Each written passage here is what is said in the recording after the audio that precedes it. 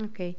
Luego, el, el verso sexto nos está hablando, nos dice, cuando alguien, aquí todavía más difícil, como os digo, dice, cuando alguien a quien he beneficiado y en quien he depositado grandes esperanzas me cause un daño terrible, consideraré a esa persona como a mi sagrado maestro. Antes nos hablaban de si nos hacen daño eh, y aquí ahora en concreto es que el que nos hace daño es alguien de quien estábamos esperando justo lo contrario, alguien con quien nosotros hemos sido bondadosos, con quien nosotros hemos sido generosos, alguien en quien confiábamos. Ese daño todavía duele más, ¿sí o no? ¿Eh? El, daño que venga de otros eh, más distantes duele, pero el que venga de alguien con, quien tú has tenido una actitud muy, eh, pues muy compasiva o muy amable o muy generosa, pues todavía duele más, ¿no? Entonces aquí nos está diciendo, este es tu sagrado maestro, ¿ok? ¿Y qué es lo que nos está enseñando? Por un lado, nos está dejando bien claro lo que son los límites de nuestras mm, de nuestra capacidad, los límites de nuestro amor, los límites de nuestra compasión, sí o no, y también pues plantearnos, bueno, eh, qué tan genuino o qué tan puro era nuestra, no sé, nuestra, el, beneficio que hayamos podido ofrecer a otros, ¿no? Porque normalmente, eh, pues quizás ayudamos a los demás, pero hay unas ciertas expectativas o un cierto interés de que se te responda, ¿sí o no? Que se te responda con una, eh, de una forma similar. ¿no? Entonces, hay una cierta eh, actitud egocéntrica incluso en el beneficio que ofrecemos a otros. Y eso es lo que se nos pone en evidencia eh, cuando experimentamos eso, el daño que viene de alguien de quien esperábamos todo lo contrario. ¿okay? Entonces, eh, en vez de, eh, en vez de pues eso, desarrollar enfado eh, o, con, o, con, agresividad hacia esa persona, pues bueno, ser paciente, aceptar esa situación y además ver que bueno, pues que esta persona como, como, como si fuera tu sagrado maestro, es decir, alguien de quien puedes aprender mucho de quien puedes aprender, pues eso, a desarrollar paciencia, a cultivar el amor y la compasión todavía mucho más, eh, con, mayor esfuerzo, ¿no? Porque te, pone en evidencia que todavía, pues mm, es parcial el, desarrollo del amor y la compasión, ¿no? Y simplemente, pues bueno, si recordamos, eh, nos puede ayudar el recordar el karma, el recordar que también, pues las personas eh, cuando dañan es porque están sufriendo, ¿no? Es difícil que alguien, eh, con un, que alguien que sea feliz y que se sienta feliz, esas personas no dañan, ¿no? Porque cuando uno está feliz, la, propia, esa propia energía te lleva a irradiarlo, a compartirlo con otros, ¿no? no es, a no quedarse solo en ti, ¿sí o no? Entonces, una persona que hace daño a otros es alguien que está sufriendo. Entonces, eh, si aprendemos a mirar en vez de el aspecto negativo de la persona, ¿no? el daño que te, que te está dirigiendo a ti, aprendemos, en vez de centrarnos en nosotros, miramos al otro y vemos, bueno, el otro está pasándolo mal, no actuaría así si no es mm, por sus propios problemas, pero entonces en vez de ser, pasa de ser objeto de enfado, podemos eh, empezar a considerarlo como objeto de amor y de compasión, ¿sí o no? Y de eso es de lo que se trata, de, que pasen a ser objeto de amor y compasión y en vez de eh, objeto de enfado, ¿ok? Entonces el siguiente verso, a ver, este nos dice, dice en resumen, tanto directa como indirectamente ofrezco todo beneficio y felicidad a todas mis madres Tomaré en secreto sobre mí todas sus acciones dañinas y su sufrimiento. Este en concreto es el, que más específicamente nos está hablando de, cultivar la práctica del tonle, ¿eh? la práctica del dar y tomar, que os recuerdo tiene que ver con ese tener, cultivar esa actitud eh, que está dispuesta a aceptar, por un lado, primero el propio sufrimiento el que estamos experimentando en esta vida y el que tiene que venir en, el futuro. ¿no?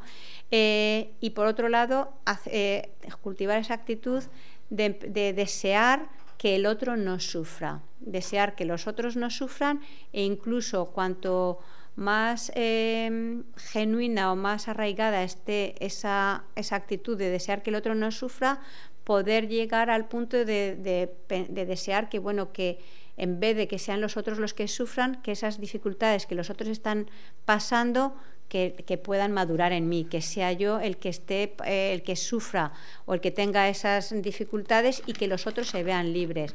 Eso, claro, nos suena algo pues muy, muy difícil, pero es con, las personas muy queridas, con las personas muy cercanas, de forma natural sale, ¿no? Cuando tienes a, un, a un familiar, a tu madre, a tus hijos, a alguien muy, muy cercano a tu corazón que lo está pasando mal, sí que surge esa actitud espontánea de decir, ojalá pudiera yo quedarme con ese sufrimiento, ¿no?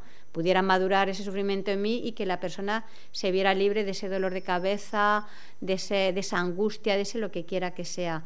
Bueno, pues de lo que nos está diciendo este verso es, cultiva esa actitud, pero eh, ves ensanchándolo, ves agrandándolo, no incluye a tantos y tantos seres como puedas, que no solamente se quede en nuestro círculo cercano, porque son con los que de forma natural sentimos amor y compasión, sino que podamos realmente abrirnos al sufrimiento de los seres y desear que ojalá realmente se vean libres de esas situaciones, que pudiéramos experimentar. Claro, si estuviéramos bien, bien fortalecidos en esta actitud del amor y la compasión, sí que llegaríamos al punto de que pudiéramos ser nosotros, ojalá experimentáramos nosotros esa situación, lo cual no va a hacer que la experimentes, pero de lo que se trata es de realmente cultivar ese sentimiento y que los otros se vean felices, ¿ok?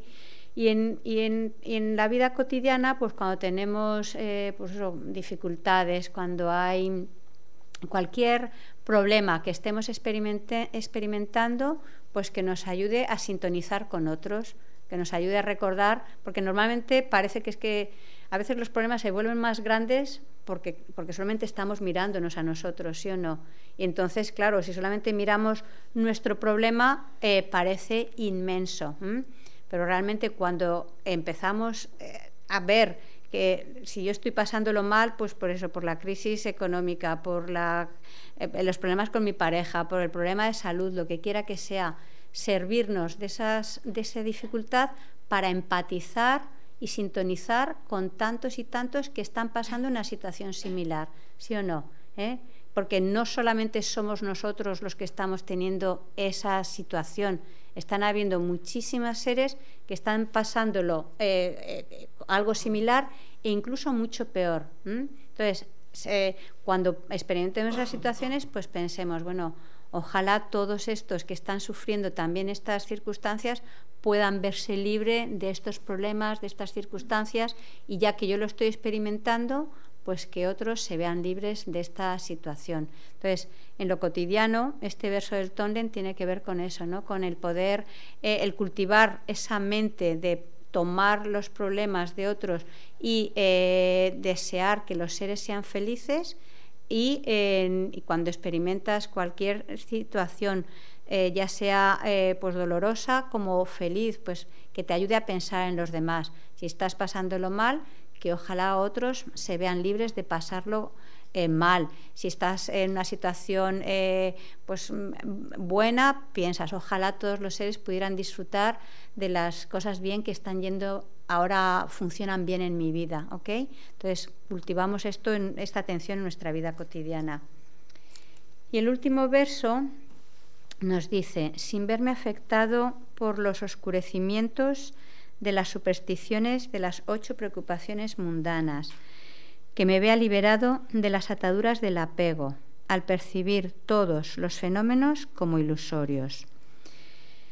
Aquí nos está diciendo las supersticiones de las ocho preocupaciones mundanas, que recordar al principio de, cuando hablábamos de, este tema, estábamos hablando de esas, eh, esas preocupaciones mundanas eh, que es ese apego a la felicidad, ese apego a las cosas agradables, el apego a lo material, al apego a la reputación, a la imagen, a que se hable bien de nosotros, ¿no? El estar pendiente y de, de, todos estos aspectos y ese rechazo a sus opuestos, ¿ok?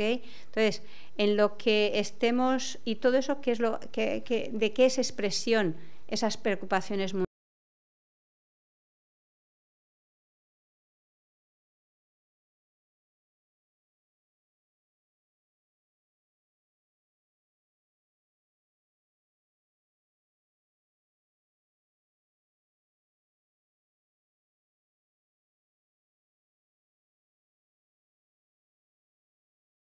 no estén afectados pues, por el deseo, que sea una práctica de Dharma pura, que no esté afectado por el deseo de que hablen bien de ti, de tener una buena reputación, ¿no?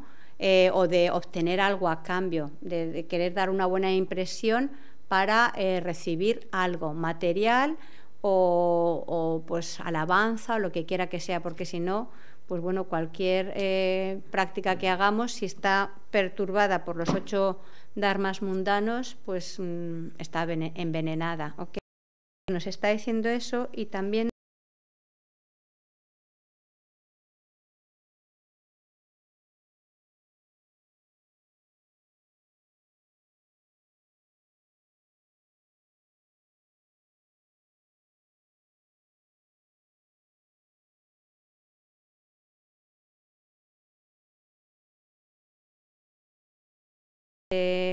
pues eso del buen nombre, etcétera, en realidad eh, el que percibamos que las cosas son agradables que eh, o desagradables, eh, pues todo es por sí mismas, nada existe como inherentemente atractivo o inherentemente desagradable, sino que depende de cómo nosotros, de las características que estamos proyectando, sí o no, porque las cosas en sí pues están compuestas de otras, de otras sustancias, ¿no?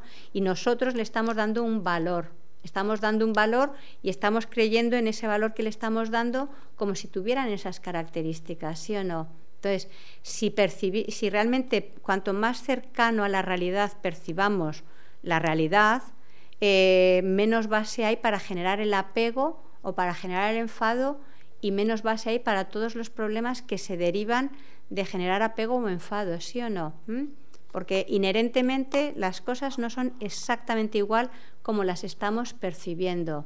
Por eso dice, percibirlo como ilusorio, porque en realidad eh, las características que estamos percibiendo en nosotros y que estamos percibiendo en, el mundo que nos rodea no existen en los objetos ni en las personas eh, tal y como nosotros lo estamos percibiendo, ¿no? con esa sustancialidad, como si fuera algo independiente, como si fuera algo que inherentemente, que tiene una existencia per se, cuando en realidad todo es interdependiente. ¿no? Entonces, tanto más comprendamos esa interdependencia de cómo se manifiestan, cómo se dan los fenómenos, cómo existimos nosotros, etcétera, menos base hay para aferrarnos a ello, ¿ok? También nos va a ayudar el reflexionar sobre la impermanencia, el darnos cuenta de que todo es transitorio, también nos va a facilitar el que no nos aferremos a las cosas.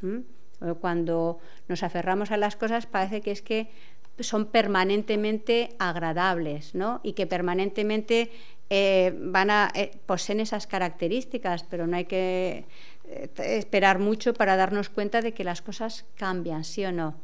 Y cuando las cosas cambian, empieza, empezamos a ver otros aspectos que nuestro apego nos había impedido verlos, sí o no. Entonces, cuando vemos esos otros, esos otros aspectos que no son tan agradables, ya no hay tanta base para el apego, ¿sí o no? ¿Eh? Ok. Entonces, bueno, esto básicamente en cuanto a, a, los, a esta a esta oración de los ocho versos, que es muy bueno si la podéis eh, recitar diariamente o por lo menos trabajar puntualmente con algunos con estos versos, ¿no? Por ejemplo, ponerse como, eh, pues a lo mejor empiezas a, a, memorizar incluso la oración o a memorizar alguno de estos versos y mantener como esa vigilancia en lo cotidiano, decir, bueno, ok, por ejemplo, cuando esté en compañía de otros, consideraré al otro como el más importante, que básicamente es la esencia de uno de los versos. Entonces, claro, si esto lo tenemos en mente, pues realmente a la hora de, relacionarnos con los demás, eh, se va a, transmitir, ¿no? Y vamos a poder, va a ayudarnos a modificar, a cambiar nuestra actitud en vez de estar siempre tan pendiente de nosotros, empezar realmente a considerar a los demás, ¿ok? Entonces, eh, iremos comprobando que realmente tanto más podamos vibrar en relación con estos ocho versos, pues estamos dando muchísima menos base para los problemas y los conflictos que están apareciendo en nuestras vidas, ¿sí o no? ¿Ok? Entonces quería también, eh, para concluir el tema este de los ocho versos, hacer un pequeño repaso y, bueno, pues a lo mejor también unas cuantas pautas ¿no? de aspectos que nos pueden ayudar eh, pues a tener otra actitud para tener menos problemas. ¿ok?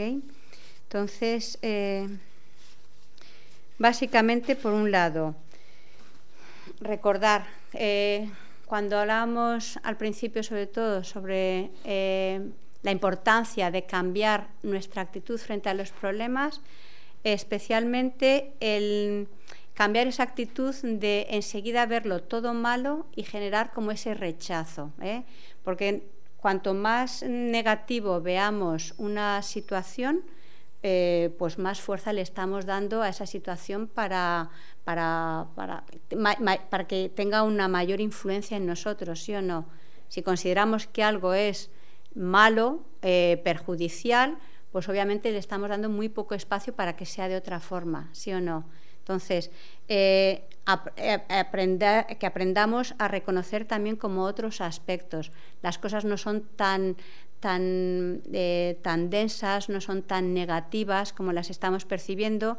Recordemos como a lo largo de todos estos... Mm, de todos estos días hablaba de cómo los problemas nos pueden ayudar a desarrollar amor, a desarrollar compasión, a fortalecernos en nuestro deseo de salir del sufrimiento y de dejar de crear las causas del sufrimiento. Entonces, eh, pues si podemos empezar a recordar cuando aparecen las cosas eh, o las situaciones difíciles de que eh, algo hay que podamos aprender de ahí y de que no es necesariamente tan negativo o, tan negro como lo estamos viendo, pues eso nos va a permitir eh, no generar demasiada angustia o tanta angustia eh, cuando aparece una situación dolorosa.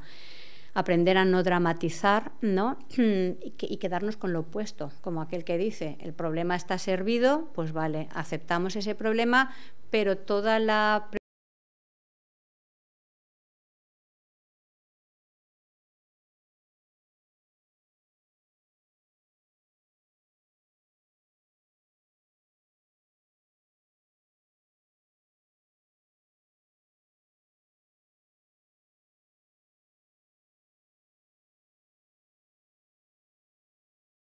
también tener, eh, si no queremos problemas, pues bueno, algo que nos va a ayudar mucho es no buscarlos. Entonces, eh, porque, casi, porque realmente casi siempre parece que es que no tenemos nada que ver con esos problemas. ¿no? Mira por dónde los culpables siempre tienen que ver con los demás, pero que aprendamos a realmente a identificar qué actitudes hay en nosotros que atraen esos problemas, ¿sí o no? ¿Eh? Entonces, eh, eh, tu forma de hablar, tu forma de, comportarte con los demás, la actitud que estás teniendo, bueno, cuáles son los aspectos que tienes que cambiar, sí o no, ¿Eh? porque si no identificamos los aspectos que están haciendo que los otros reaccionen de una determinada forma, pues vamos a seguir teniendo problemas, ¿no? Y especialmente lo que nos va a ayudar muchísimo es tener una ética, practicar una moralidad que no perjudique al otro.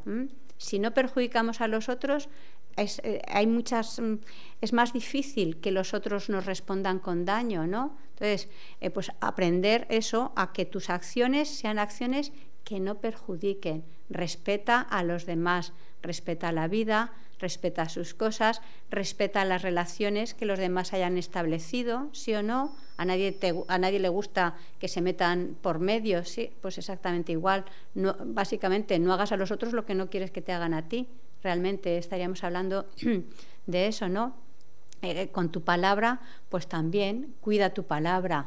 Con la palabra podemos hacer muchísimo daño, ¿no? Podemos confundir, podemos despreciar, podemos humillar, hacemos mucho daño a los otros. Bueno, pues eh, eh, aprendamos y empecemos a, a vigilar nuestra palabra y si tenemos que estar todo el día callados, pues, o por lo menos parte del día callados, porque si no, no hay forma, pues empezamos a, hablar menos, por ejemplo, lo que sea, pero sobre todo a tener esa, esa vigilancia que identifica rápidamente cuando estás hablando de determinada forma, en un determinado tono, diciendo algunas cosas que están, qué, qué resonancia hay eh, en las cosas que haces o que dices y que aprendamos a descubrir qué resonancia hay, qué, qué efecto. Entonces, tanto eh, si no hacemos daño a los demás, ese daño no nos vendrá a nosotros. ¿eh? Entonces, ese sería uno de los aspectos importantes, que cultivemos pues, una actitud, una, unas acciones tanto de cuerpo, de palabra e incluso unos estados mentales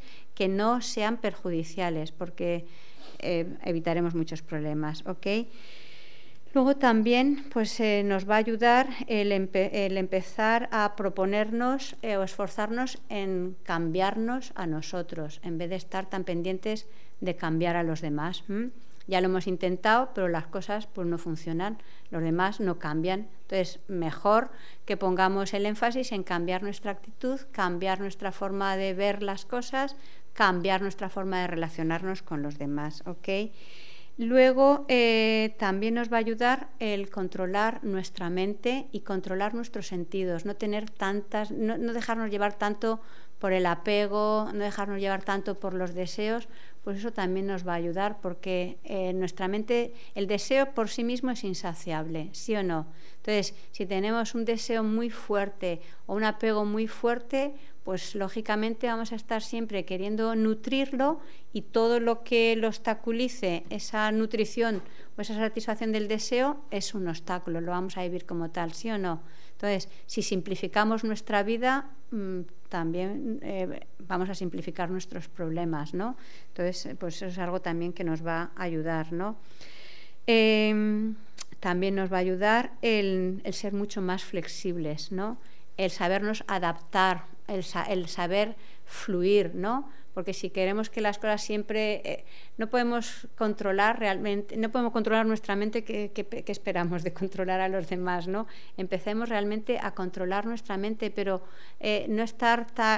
las cosas no van a salir jamás eh, o siempre como deseamos. Las cosas no van a ser perfectas ni, van ni podemos estar siempre en circunstancias idílicas porque lo externo no tiene esa capacidad. El que podamos es preferible, es, vamos a tener más éxito si somos nosotros los que nos vamos adaptando, aceptando las circunstancias y, y generando una mente de satisfacción independiente de las circunstancias en las que nos encontremos, ¿no? No solamente que podamos eh, sentirnos bien cuando todo a nuestro alrededor esté a gusto, sino que realmente logremos tener esa mente de que, bueno, pues saber valorar lo que tenemos y, adaptarnos a cualquier circunstancia, porque es que no queda otra, ¿sí o no? Si no, vamos a estar siempre en, lucha. Y en lucha, además, eh, acabando derrotados, porque nunca las circunstancias van a ser lo suficientemente perfectas como para estar a gusto, porque el estar a gusto no depende de las circunstancias, sino depende de algo dentro de nosotros, ¿sí o no? ¿Mm? Luego también nos va a ayudar el recordar que nadie es perfecto. ¿eh? Entonces, no esperemos que, la gente eh, no tenga, eh, yo qué sé, mm, vaya siempre a actuar como a ti te gusta. Nosotros tampoco lo somos. El comprender que nosotros tampoco somos perfectos, pues nos ayuda a aceptar también a los otros, ¿no? Entonces, pues bueno, aprendamos también y, en algunos de estos versos eh, realmente eh, nos va a ayudar mucho el aprender pues a perdonar al otro, ¿eh? aprender también a aceptar pues mm, bueno, que, que no hacen las cosas bien, como nosotros tampoco las sabemos hacer bien, ¿sí o no? También hacemos daño a los demás, ¿no? Entonces, en vez de guardar ese resentimiento y ese daño que nos han podido hacer a lo mejor hace 15, 20, 30 años a veces, ¿sí o no? Hace un montón de tiempo, pues bueno, soltarlo, porque la otra persona nos ha dañado una vez, o dos, o tres, o cinco, pero ¿cuántas veces lo hemos reproducido en nuestra mente? Un montón. ¿sí o no? Y todo ese, ese daño, ¿a quién le corresponde? El otro solo lo hizo cinco o seis veces, pero nosotros lo hemos reproducido mentalmente cuántas, muchísimas veces, ¿no? Entonces el aprender a soltar, el aprender a, perdonar, el aceptar que bueno que el otro pues tampoco también tiene defectos eh, exactamente igual que tú, entonces pues bueno eh, aceptarlo tal cual. ¿eh? Por otro lado saber que si no hubiéramos creado el karma el otro no nos hubiera eh, hecho el daño, ¿no? Pero entonces, si nos adiestramos en esto, pues podremos empezar a, eso, a, no guardar todos esos rencores, esos daños que tenemos en, nuestro corazón, ¿ok? Luego también eh, nos va a ayudar el tener una perspectiva más amplia, no estar mirando solamente nuestros problemas, sino realmente pues eh, darnos cuenta de que todos los seres están sufriendo mucho y además eh, en circunstancias mucho peor, ¿no? Mucho más graves que nosotros mismos. Eh, cuando abrimos nuestro corazón a otros, los ojos a los demás, pues realmente nuestros problemas se quedan mucho más, mucho más pequeños, porque en comparación con los de los demás no son tanto. ¿okay? También nos va a ayudar el darnos cuenta de que todo cambia, de que todo es eh, transitorio, de que todo es impermanente, que, que las cosas no va, por negras que parezcan, por inamovibles que parezcan, eh, están cambiando. Igual que en el pasado hemos tenido circunstancias en las que un problema nos ha parecido como una roca muy, muy densa, pero sin embargo, eh, hoy por hoy, pues ya se ha quedado casi en el olvido, ¿sí o no? Bueno, pues exactamente igual, cuando volvamos a caer en una situación similar, recordarlo y entonces eh, simplemente, pues bueno, dejar pasar la situación y, irá cambiando, ¿ok? O por lo menos saber eso, que hay una luz en, la oscuridad, que hay una luz, que no es tan denso como lo estamos viendo y que hay más de una respuesta en, lo que, en los problemas que estamos viendo. A veces te ves, a veces parece que no hay salida, sí o no. ¿Eh? Parece que todo es y, eso es mucho más sofocante cuando parece que, que no hay salida. Bueno, pues eh, estamos equivocados hay salida, ¿no? Hay, más de una forma de ver la misma situación, hay más de una respuesta. Se trata de, poder abrir los ojos y ver dónde están esas salidas, ¿ok? Y a ver, ¿qué más? Hábitos saludables que nos pueden ayudar, pues como Gesela, el lama de aquí, siempre nos está diciendo, y bueno, y todos los maestros, ¿no? Estar menos pendiente de las faltas de los demás y más pendiente de sus cualidades, ¿eh? Eh, en vez de estar tan pendiente de tus cualidades y olvidar tus faltas. ¿no? Entonces, cambiar ese hábito, daros cuenta de lo fácil que es realmente reconocer eh, las cosas negativas de los demás, ¿no? Las nuestras nos cuesta mucho reconocerla, todos los demás saben cuáles son nuestras, nuestras faltas, pero nosotros estamos ciegos a ello. Entonces, identifiquemos también ese hábito que tenemos de enseguida ver los puntos débiles de otro o las cosas negativas de los otros, ¿no? Entonces, cuando identifiquemos eso, intentemos eh, por lo menos compensarlo con alguna cualidad, ¿vale? Eh, y empezar a cambiar ese hábito de, vale, están ahí esas faltas, pero empecemos a fijarnos también en sus cualidades. Y, aunque las faltas sigan ahí, si empezamos a fijarnos en las cualidades de los demás, las faltas empiezan a estar un poco más como de telón de fondo, como algo más difuminadas, ¿sí o no? Es, es, justo lo opuesto a cuando el enamoramiento, por ejemplo. En el, en el enamoramiento solo ves cualidades, ¿sí o no? Solo ves cosas maravillosas, no, no ves eh, los aspectos negativos de la persona, ¿no? Eh, luego al poco rato lo ves, ¿no? Cuando ya te casas.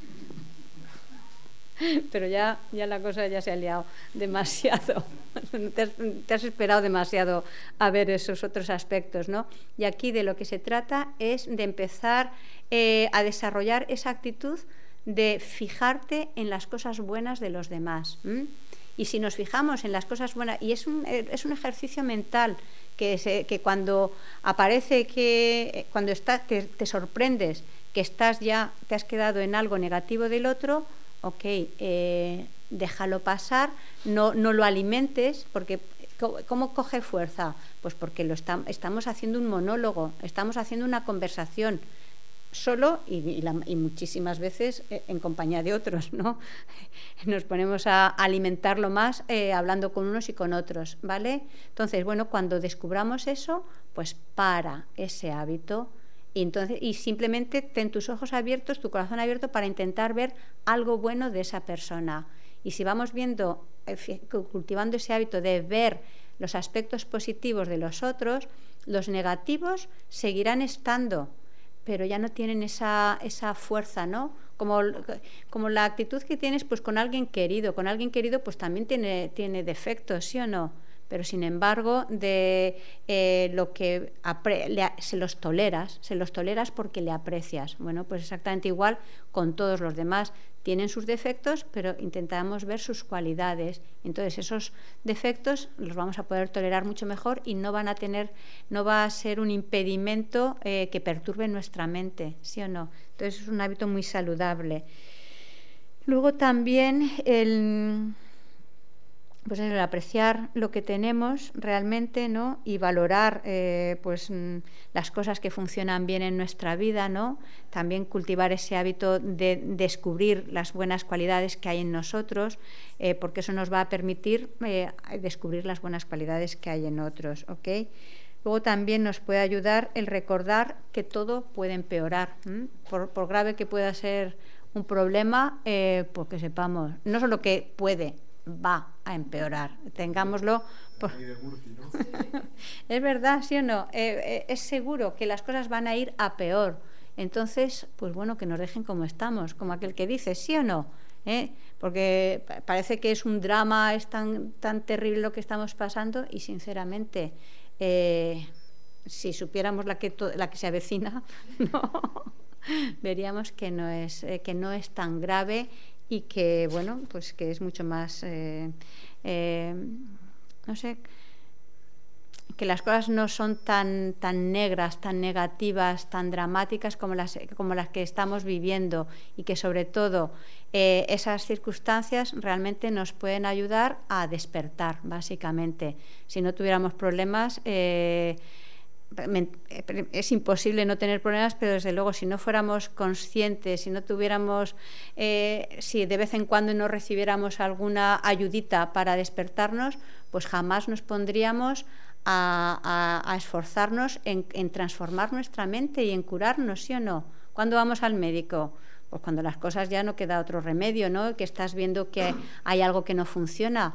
Pues es que lo sepamos o no, hay muchas cosas que no funcionan en nuestra vida ¿eh? Eh, y, muchas cosas que van a, empeorar todavía, pero si no nos esforzamos, si no reconocemos nuestra situación de gravedad, nuestra situación de enfermedad, por así decirlo, los venenos que hay en nuestra mente, pues nunca vamos a hacer nada por cambiarlos, ¿sí o no? ¿Eh? Entonces, los problemas nos ayudan a descubrir las cosas que tenemos que cambiar las cosas que tenemos que mejorar, las cosas que sobran y que ya las tenemos que, quitar de nuestra vida y las cosas que faltan y que tenemos que ir cultivando, ¿sí o no? Entonces, desde esa perspectiva, si vamos eh, mirándolo de diferentes ángulos, pues podremos llegar a desarrollar, como dice la Mazopa Rinpoche, esa actitud de disfrutar de los problemas como si fueran helados en un día caluroso. ¿eh? Todavía queda mucho hasta que podamos tener esa actitud, pero no es imposible. No es imposible y es algo que si nos vamos familiarizando lo podremos, podremos ir eh, lográndolo y sobre todo siendo mucho más independiente de las circunstancias, no, no estar tan eh, poder mantener como una mente feliz eh, y apacible independientemente de que todo en nuestra vida sea un caos. Entonces, básicamente, eh, pues con esto concluyo el tema de, de, los problemas, ¿no? ¿no? concluimos con los problemas, que ya os dije que no era el, el, objetivo de este, de este curso. Entonces, si hay algún comentario, alguna cosa que queráis hacer eh, respecto a lo que ha salido hoy o alguna cosa durante todo este tiempo, sí.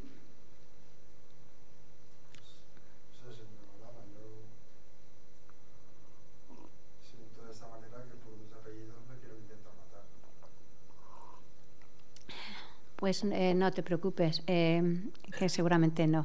No te apures. No te apures. ¿Alguna otra comentario? Eh, sí, has dicho hace un momento que uno de los ejercicios sería fijarse más en, en, lo que los demás, en las actitudes buenas de los demás y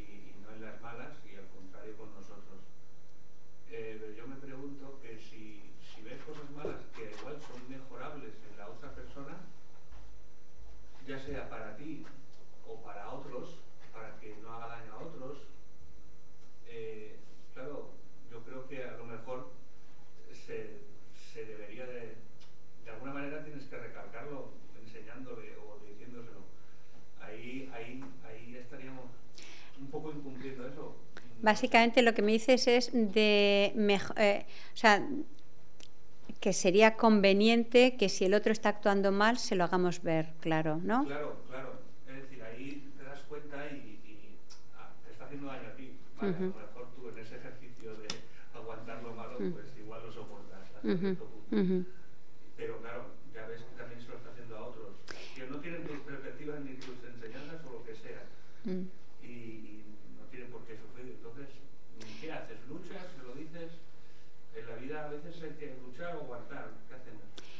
como decía antes, especialmente cuando el bienestar de otros está en juego, por supuesto hay que defender el bienestar de, la mayoría.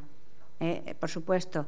Es decir, claro que si una persona pues está... Eh, primero, también partamos de la base de que es muy difícil, o sea, la capacidad que tenemos cada uno de nosotros de que el otro acepte a un consejo o de que le podamos ayudar a otro a ver algo, eh, sí o no, y modificar en algo su conducta, suele ser bastante limitada. Depende mucho de, la relación que tengamos con la persona, el que, que podamos ejercer una influencia positiva al otro, sí o no. Eso, eso hay que tenerlo en cuenta, ¿vale? Luego, también incluso, mm, planteémonos, para tener una influencia positiva al otro, no necesariamente siempre es con palabras. A veces las palabras eh, suelen ser una barrera. Muchas veces es más bien el ejemplo lo que hace que la otra persona se abra, sí o no. y teniendo todo eso, pues eso, eh, en cuenta, por supuesto que claro que cuando una persona está actuando de forma eh, que perjudique a otros o incluso pues que, que se esté perjudicando a sí misma, eh, pues por supuesto que en la medida en la que podamos hay que evitar eso. E incluso hacia nosotros mismos, aquí estamos hablando de ir cultivando una actitud, ¿vale? Estamos intentando hablar de cultivar una actitud, que la actitud que estamos intentando cultivar no es la de el aguantar, no, estamos intentando cultivar esa actitud de aguantar o de la pasividad, no, estamos intentando cultivar una actitud de, eh, de, minar, de, dinamitar la actitud egocéntrica, ¿vale? Entonces, eh, eso no quiere decir que efectivamente si alguien y que tenemos que reconocer nuestros límites, tenemos que reconocer nuestra capacidad y, por supuesto, si alguien está, eh, pues eso, mm, perjudicándome y, bueno, ya he probado a todo lo que he podido con, con, estos versos y con la transformación del pensamiento, pero se me va de las manos, ¿no? Entonces, por supuesto que eh, uno puede eh, comunicar con el otro o, hablar eh, incluso de forma enérgica con la otra persona para, para, que cada, para, para poner los límites que, haya, que haga falta ponerlo. De lo que se trata es que a nivel interior la actitud no sea una actitud de que vaya tan libre como pueda de, que, de, querer hacer daño al otro o de, o de simplemente buscar el, el bienestar personal. Cuanto menos cuanto más arraigado esté en nosotros realmente ese deseo de ayudar a otros y de trabajar, porque todas estas versos especialmente son una medicina muy potente para el que quiere desarrollar la bodichita y para el que quiere llegar a la iluminación para, para ayudar a otros, ¿no? Entonces, desde ese punto de vista, esto es una medicina muy potente porque te ayuda a purificar, a cultivar amor, compasión y demás. Nosotros todavía quizás no estamos en, la fase en la que podamos tomar tanta dosis, ¿no? Esa es la verdad, pero sí que vayamos aprendiendo a, alinear nuestra vida, nuestra conducta con algunas de estas reflexiones. ¿Te, resuelve algo? Sí, sí, en parte lo has contestado como más o menos parecía que mm. tenía que resolver hay una cosa que, que has dicho en la explicación y ya ahí me mareo. ¿Cuál es la, ¿cuál es la diferencia entre aguantar y cultivarse?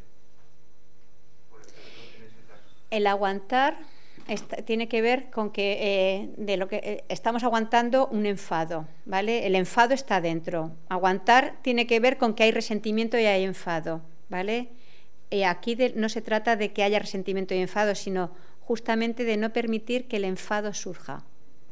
Y es decir, no se trata de reprimir eh, algo, sino de, servirnos de las situaciones para que eso no llegue ni siquiera a surgir, que es diferente. Claro, es muy diferente eso que el aguantar. El aguantar no es. Eh, en el aguantar ya hay enfado, en el aguantar ya hay enfado, lo expreses o no lo, no expreses. En tu corazón ya lo hay, ya hay resentimiento. De lo que se trata es de que eso no llegue a surgir. ¿Eh? Michelle. Iba a decir gracias por estas enseñanzas porque vienen muy bien y mucho de ello parece buen sentido, pero luego hay otras cosas que dicen, uff, y viene bien oír cuando dice, pues, oh, si te insultan esto y esto, la sabiduría del budismo que dice que no pasa nada, que déjalo ir y es bueno Son cosas de todos los días vienen muy bien que se lo repiten. Claro. Por eso eh, conviene, de verdad es muy bonito si os la podéis eh, leer cada día e incluso memorizar. Santiago Dalai Lama este año hablaba de, de, eso, de que nos lo recomendaba memorizar esta oración, porque luego la tienes muy presente y es más fácil, ¿sí o no?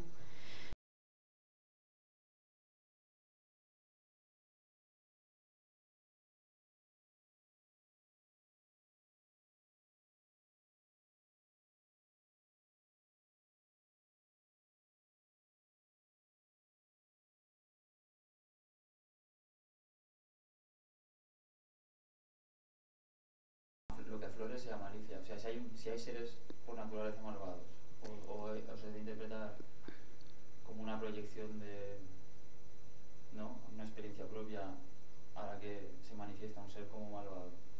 Es decir, que eh, la pregunta es, si una persona eh, ha purificado su mente eh, y tiene un buen corazón, una mente compasiva, si para esa persona, si esa persona puede ver seres malvados, es que no he entendido. ah existe algún tipo de ser que por naturaleza sea malvada. Exacto, sí. Que, que, habiendo, digamos, purificado los oscurecimientos, los engaños, la actitud egocéntrica, debajo de todo eso haya maldad.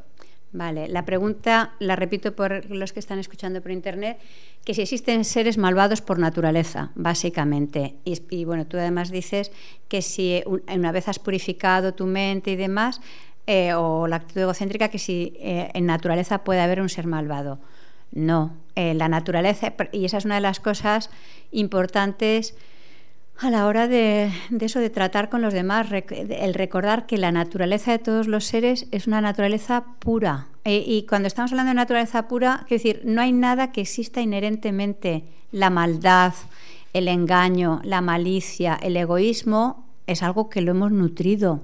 No es algo que exista inherentemente en sí, es algo dependiente, ¿sí o no? ¿Y, de qué depende? Básicamente de una concepción errónea.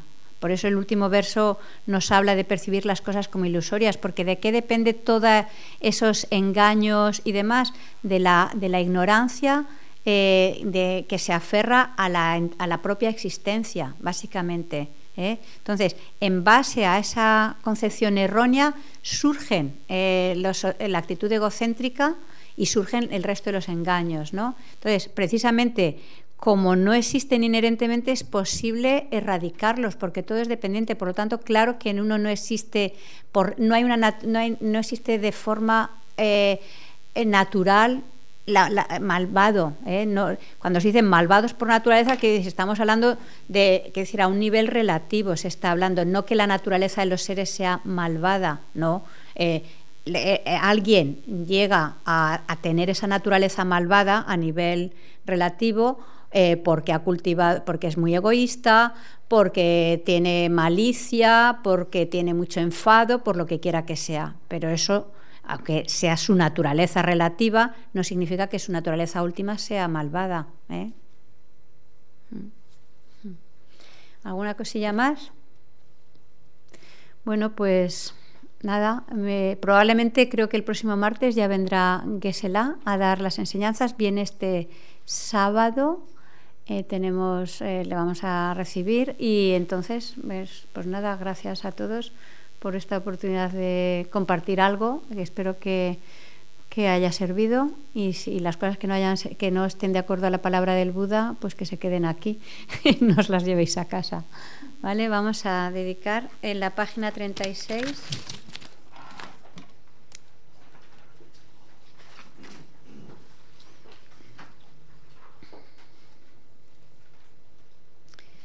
Que por los méritos de estas acciones virtuosas pueda alcanzar rápidamente el estado de un Guru Buda y llevar a todos los seres sin excepción a ese estado iluminado.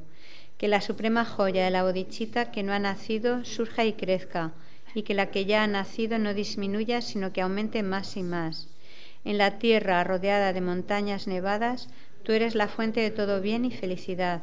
Todopoderoso, Chenresi Tenzin Yatso, te ruego que permanezcas entre nosotros hasta que finalice el samsara. Tú que sostienes el camino moral del suyugador, que sirves como el generoso que lo soporta todo, que mantienes, preservas y esparces la victoriosa doctrina de Manjunat, y que realizas con maestría oraciones magníficas que honran a las tres joyas, Salvador mío y los demás tus discípulos, te lo ruego, ten una vida larga.